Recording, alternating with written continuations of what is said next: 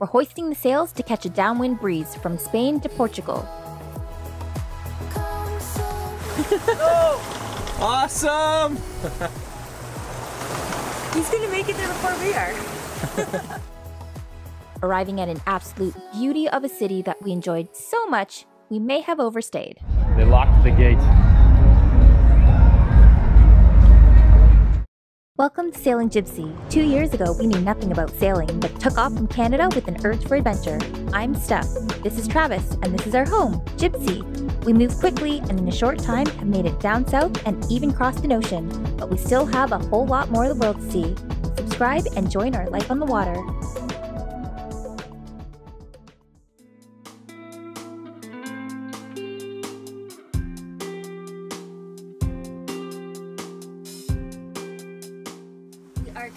Having a beautiful downwind sail off the west coast of Spain, making our way to Portugal. We're going to be stopping into Porto, which is a 12 hour sail from where we started this morning in, where were we?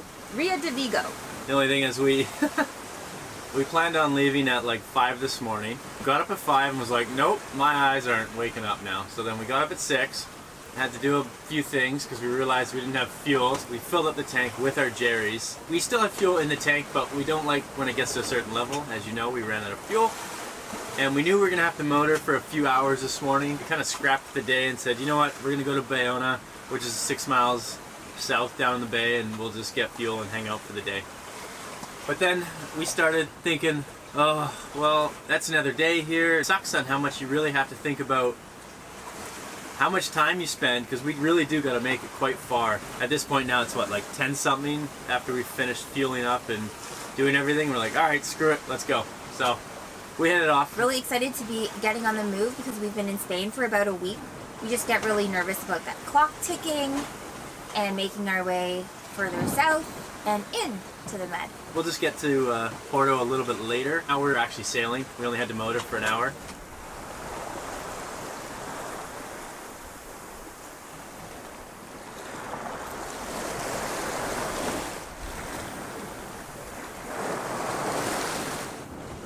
Wind just flicked over slightly to the other side, so we're just changing our setup to cross the boom over, and Travis is working on moving the pole over.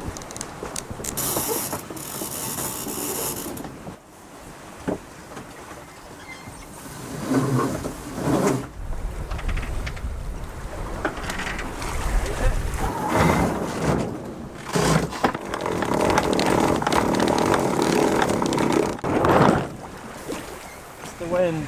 All that work just to furl it back in. And we've got the bloody motor back on.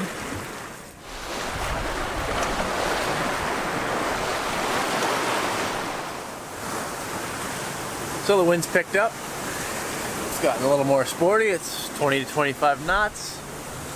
Right dead downwind. We're piping along at 7, 8 knots. Still wing on wing, which is crazy. Uh, our sail set up. Got one reef in the main and reefed the head sail. It's on the pole. And we're flying. Some of these waves are pretty steep again. The autopilot is totally fighting it, but I think we're, we're relatively pretty balanced for how fast we're going.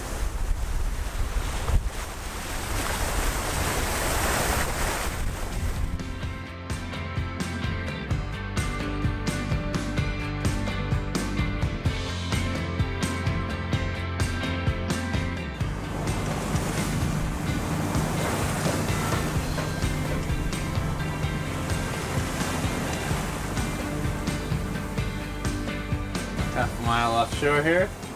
There's a freaking paddleboarder or like a hydro. Is it a hydrofoil? Yeah, it's like a hydrofoil surfer guy. He's catching up to us. Look, look, look, He's gonna pass us. This is wild. People out here are not scared to go out far, eh?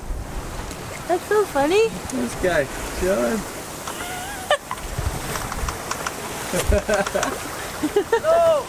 Awesome! He's gonna make it there before we are.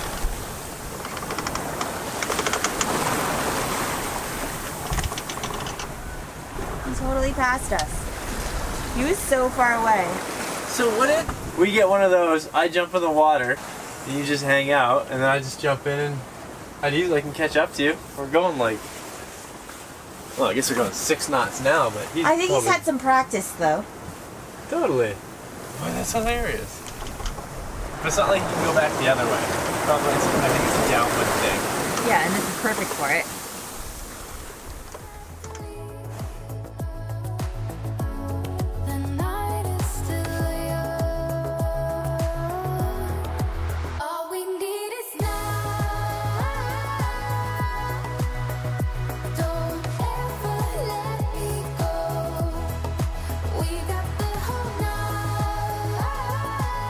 We thought we'd be coming in here at dark, so we definitely made good time.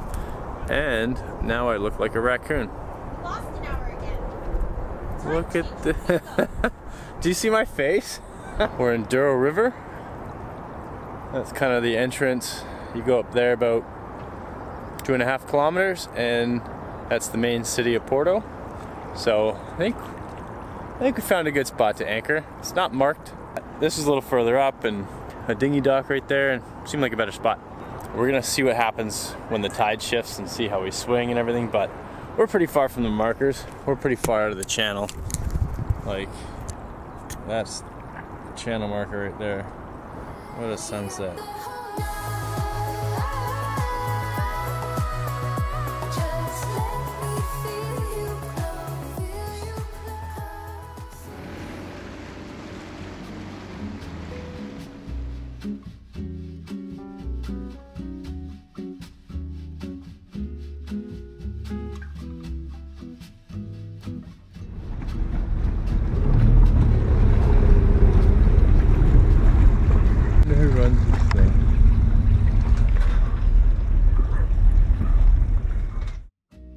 Porto is the second largest city in Portugal. The Dom Luís Bridge here spans across the Douro River, connecting Porto and Vila Nova de Gaia. It's a double decker bridge that you can walk and drive across on the bottom level, and the top level is walkable and used by the metro. We were amongst more tourists than we've been anywhere else so far in our cruising. Many people speak English, and be prepared that most places only accept cash. Jewelry and souvenir vendors line the riverfront, along with ticket sales for riverboat tours, where tickets are 15 euros a pop. Upon stepping on land, we could see exactly why Porto's historic center is designated as a World UNESCO Heritage Site. The historical buildings and beautiful cathedrals make each narrow cobblestone street worth every step on that step counter.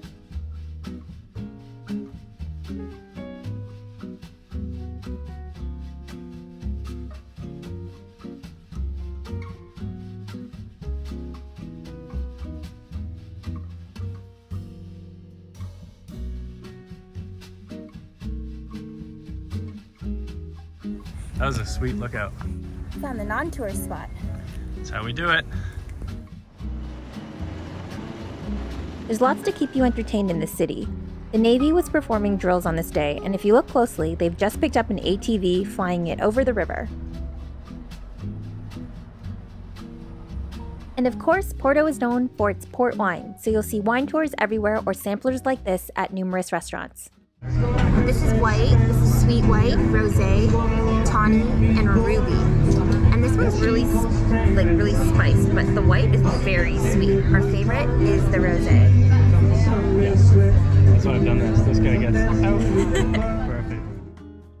Both the city and water light up at night. Vendors and street performers keep the good times going well past sunset.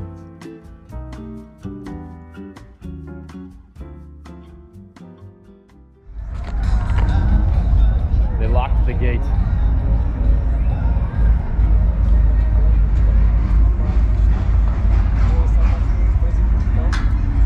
Oh, we might be lucky, Steph.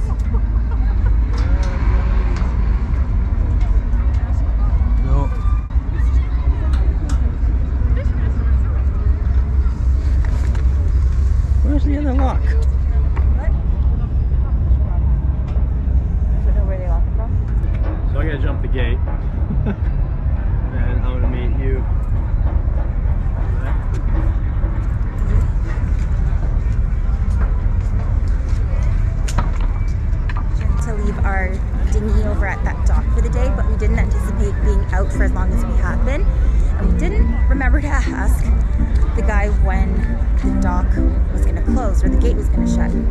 Uh, so that was about 6 p.m., very, very long time ago. Got a lot of docks, but most of the docks are for the river cruise boats, so they're all locked up now. We walked along the shore to see if there was any access, but it's particularly hard because it's low tide right now so it's just all really slick and climbing down is a no-go.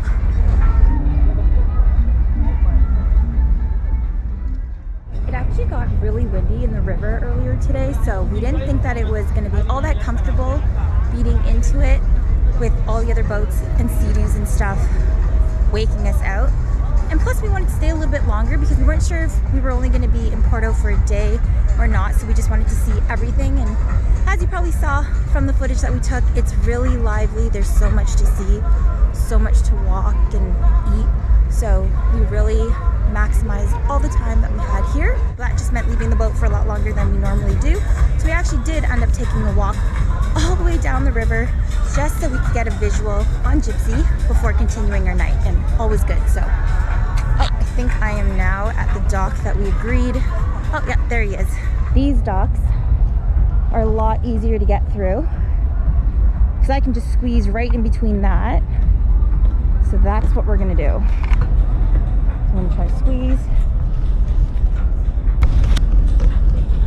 In here, just could have just jumped it, but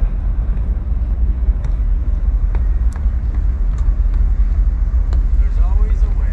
easy peasy. Always a way. We got some funny looks, but Did we? yeah. Cruisers always make it work. It's just what we do.